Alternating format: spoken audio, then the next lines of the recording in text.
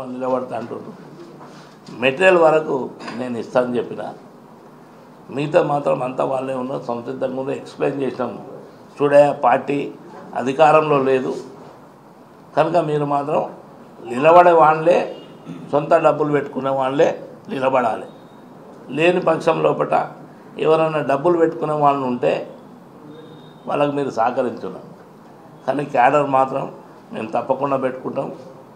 ఆ స్థాయిలో మేముకున్న మెంబర్షిప్ నీకు బూతుల పైసలే కదా అవి మేము పెట్టుకుంటామని వాళ్ళ ముందుకు వచ్చారు దాదాపు అరవై ఏడు మందిని సెలెక్షన్ చేసినాం.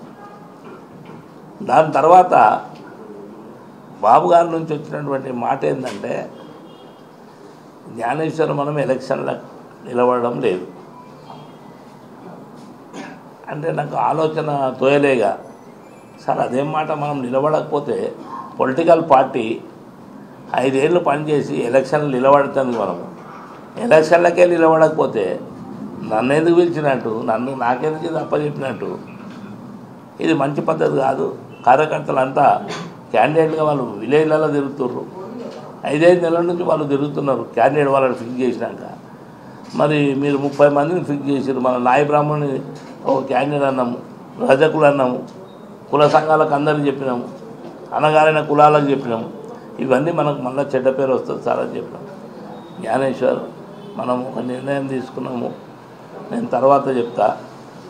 నా మాటగా కార్యకర్తలకు మాత్రం ఒకసారి మేము పిలిచి చెప్పమని చెప్పడం జరిగింది నేను వచ్చి నేను నా కార్యకర్తలకు చెప్పినాం. వాళ్ళంతా గగ్గోలు పెట్టేస్తారు మిమ్మల్ని ఒక రూపాయి అడగలే. మీ బీఫామ్ ఇవ్వమంటే మమ్మల్ని నిలబడొద్దు అంటారు ఏంది? మేము ఎన్ని రోజులు చేసినా సేవ ఏమైంది? రేపు ఏం జవాబు పెట్టాలి వాళ్ళకు ఫేస్ చేయలేకపోయినాం మనం. దాని మీద మళ్ళీ మనం చంద్రబాబు నాయుడు గారికి ఇవన్నీ విషయాలు చెప్పి వాళ్ళని మళ్ళీ ఒక మెసేజ్ పంపించినాం. దాంట్లో కూడా వాళ్ళు తుది నిర్ణయం మనం కాంటాక్ట్ చేస్తలేమనేది చెప్పిండ్రు.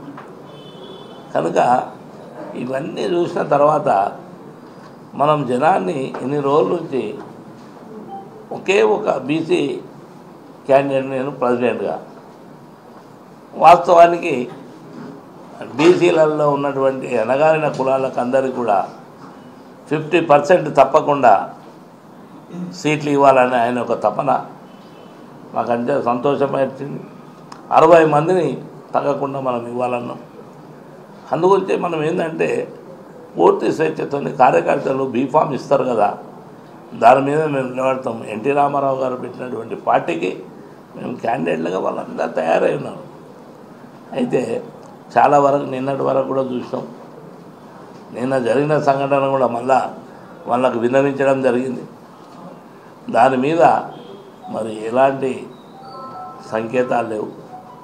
కనుక నా ఉద్దేశం వల్ల ఏంటంటే ఏ క్యాడర్కి అయితే మనం చెప్పినామో ఎవరికైతే ఫేస్ చేయలేకపోతున్నామో మరి పార్టీలో ఉండి వాళ్ళకు అన్యాయం చేస్తే మాత్రం మనం ఉంటే కరెక్ట్ కాదన్న ఉద్దేశంతో మీ అందరి కష్టం కలిగించి ఈ పార్టీలో నేను ఉండడానికి వీల్లేదు అని రాజీనామా చేద్దామని మీ అందరి సమక్షం లోపల మిమ్మల్ని పిలవడం జరిగింది. కనుక తెలుగుదేశం పార్టీలో నేను ఉండను రాజీనామా చేస్తున్నాను చెప్పడం జరిగింది. ఆ రేపట్ల మళ్ళీ అందరిని పిలుచుకొని తుది కార్యరూపం ఏంది మాది అనేది నిర్ణయం చేస్తాం. కానీ ఇలాంటి కార్యక్రమాల్లో ఈరోజు ప్రతి పొలిటికల్ పార్టీ చిన్న చిన్న పార్టీలు క్యాండిడేట్లను నిలబెడదామని తపనతో ఊళ్ళు ఊతు ఊగినటువంటి సందర్భాలు వాళ్ళందరూ కూడా నిలబడుతున్నప్పుడు తెలుగుదేశంకి ఏమైంది? సరే మనం నిలబడతలేము. ఎందుకు నిలబెడతలేము? జవాబు లేదు. మనం లేకపోతే నిలబడతలేమంటే ఎందుకు నిలబడతలేమో కూడా చెప్పాలి కదా జనానికి. అలాంటి మెసేజ్ లేకపోవడం వల్ల మనకు మనస్తాపం చెంది ఇన్ని రోజులు కష్టపడ్డదాన్ని గంగల పోసిన పన్నీర్ అవుతుందని మరి ఈరోజు మీ అందరి సమక్షం లోపల తెలుగుదేశం పార్టీకి రాజీనామా చేసి మా యొక్క మెసేజ్ కూడా జాతీయ అధ్యక్షుడు చంద్రబాబు నాయుడు గారికి పంపిస్తున్నా.